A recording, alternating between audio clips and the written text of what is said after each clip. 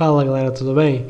Vamos falar hoje de rotas do Laravel, mas não vou falar de qualquer rota. Eu quero falar das rotas resources. Essas rotas tem bastante coisinha nela aí que pode ajudar vocês e muitas dessas coisas a maioria de vocês não sabem. E eu vou mostrar nessa aula aqui coisas inéditas sobre as rotas resources, ok? Mas antes da gente começar essa é, essa aula, eu quero que você esteja ciente que essa aula aqui é um, conceito um pouco mais abrangente em questão de rotas, porque além das rotas resources, tem as rotas normais. Então a gente vai entender um pouquinho mais como essas rotas resources estão por trás aí, vamos é, criar algumas coisas e vou te explicar o que, que dá para fazer com elas, além de usar o padrão que a gente já usa em comum, ok?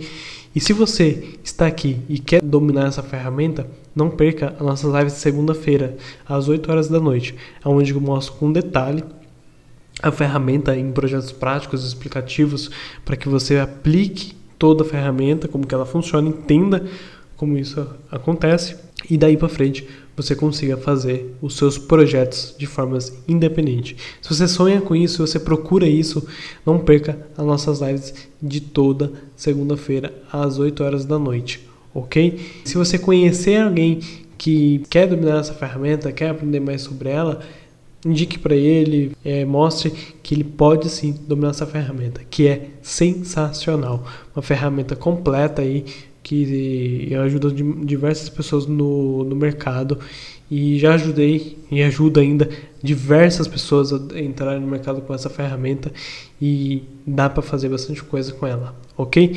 Então vamos dar início aqui a nossa, a nossa aula e vamos entender aqui algumas coisas que são muito importantes, ok? Eu vou criar um controller de teste, eu tenho aqui um controller tenho dois controllers, mas não vou, não vou usar nenhum deles.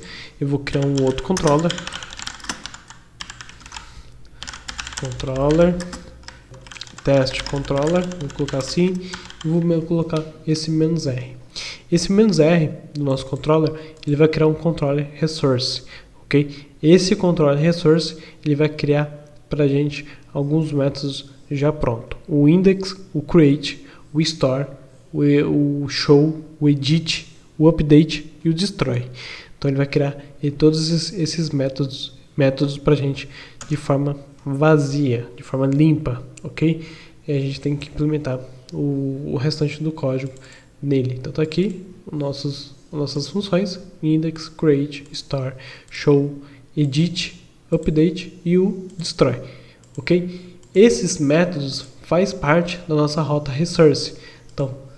No meu no minha rota web, eu posso digitar aqui route dois pontos resource e aqui dentro informar teste vírgula informar aqui o teste controller class. Como que é o Laravel 8, eu preciso informar dessa forma. Se você acha feio dessa forma, você pode tirar daqui, vir aqui, fazer use do teste controller dessa forma, que ele funciona da mesma forma, ok? Mas o que, que essa rota resource ela faz? Ela vai criar para gente todas as rotas que pertencem a cada um desses métodos, ok? Então, todos esses métodos que está aqui, ele pertence a um tipo de rota aqui dentro.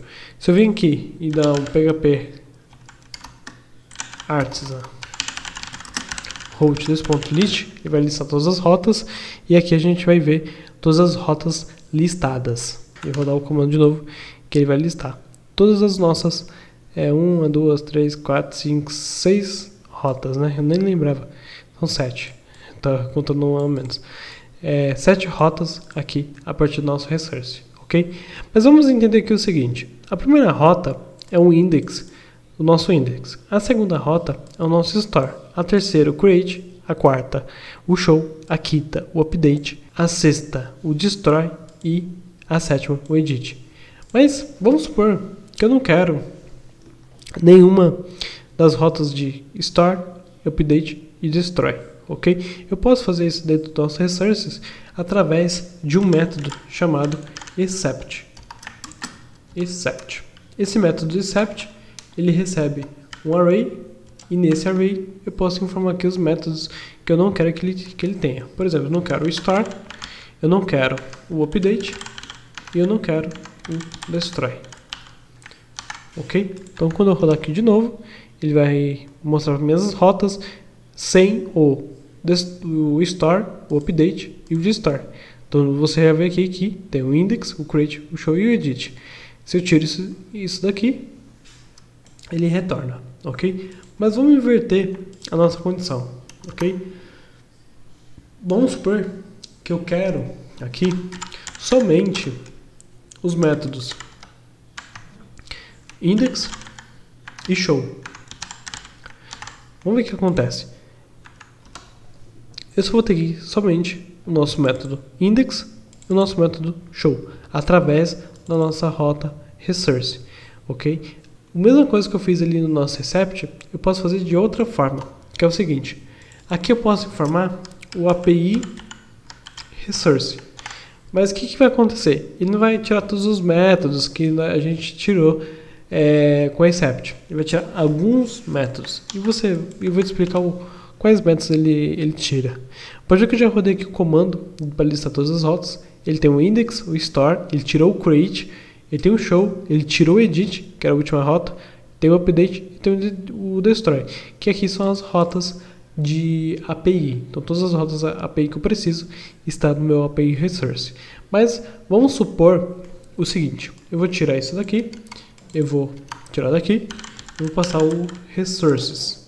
Esse Resources eu posso passar um array, informar que eu tenho aqui o teste, que recebe o meu teste controller, opa, teste. Controller ok? E eu posso passar outros aqui, hum, se eu, se eu quero, quero, uh, quero outros métodos, vou passar aqui dentro de aspas para ele não ficar dando esse erro, eu posso fazer isso também, mas é, isso daqui, faltou um S. Aqui, isso daqui já funciona, e aqui ele já está listando o index, um star, o create, o show, o update, o destroy e o edit, ok? Mas vamos mudar algumas coisas aqui. Vamos ver aqui nossos parâmetros e está aqui. Teste, teste, teste, teste, teste, ok? Vamos então fazer o seguinte.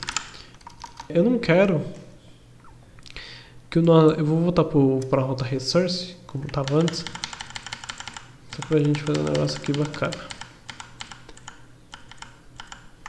Resource. Eu não quero que seja teste. Eu quero que seja outra coisa. Então vem aqui, eu passo parâmetro. Esse parâmetro eu vou falar para ele o que eu quero. Por exemplo, eu não quero teste. Eu quero que seja user. Opa, user. Então, quando eu rodar aqui agora, ele trocou tudo que estava com teste, pode ver aqui em cima, teste, teste, teste, teste, para user, né? Então ele fez um essa personalização aqui para mim, para ficar com o user no lugar de, de teste. Deixa eu colocar aqui outra coisa que eu não quero que seja mais também o meu index teste.index. Eu quero que seja outra coisa. Então vamos é, fazer o seguinte: o meu método index vai ser o meu início. Então eu posso fazer também isso no meu resource. Se eu venho aqui, teste, que é o meu index, ele virou início. Se eu quero que seja teste ponto início, posso passar aqui teste ponto início, que ele vai respeitar teste ponto início. Mas eu, vamos supor que eu não quero nem o create e nem o edit, eu quero outra coisa. Também posso fazer isso. Eu posso personalizar de várias formas essa rota. Posso personalizar de vários jeitos. E tem muita coisa que o Laravel disponibiliza para gente. Se eu venho aqui no meu provider, Host Service Provider, e eu desço aqui um pouquinho, aqui no boot, e eu chamo o nosso Host Verbs, Resource Verbs, eu posso personalizar o create para criar e o meu edit para editar. Eu posso mudar isso de uma forma bem simples. Isso fica 100% modular. Por exemplo, eu vou dar uns enters aqui, eu posso trocar esse name, apagar tudo que está aqui por names. E aí eu posso vir aqui e fazer. O, o index vai ser teste.início início. O meu store vai ser store vai ser teste ponto. Cadastrando. Meu create. Pode ser teste ponto criar. E assim sucessivamente que ele vai respeitar ok? Ele está aqui teste início teste criar. E as rotas também em português. Então eu posso fazer isso de várias e várias e várias formas. E isso ajuda demais na hora de trabalhar com as rotas resources. Então, você tem aí métodos que você não quer, você quer de outra forma, você pode fazer isso manipulando dessa forma. E fica bem legal que fica 100% organizado e não fica complexo essa estrutura ok? Então você pode ver aqui que fica simples no, nos locais corretos e você tem aí é, as rotas da forma que você quiser é, para esse método, ok? Então, se você gostou dessa aula, gostou desse vídeo aqui, Compartilhe esse vídeo, deixe seu gostei se inscreva no nosso canal, porque tem muito, muito mais conteúdo de segunda-feira às 8 horas da noite. Porque isso aqui é só um pedacinho para você entender como que essa ferramenta funciona. E essa ferramenta tem mais ainda, tem mais coisas ainda para a gente ver, para a gente analisar de perto e vocês praticarem em projetos que você precisa desenvolver.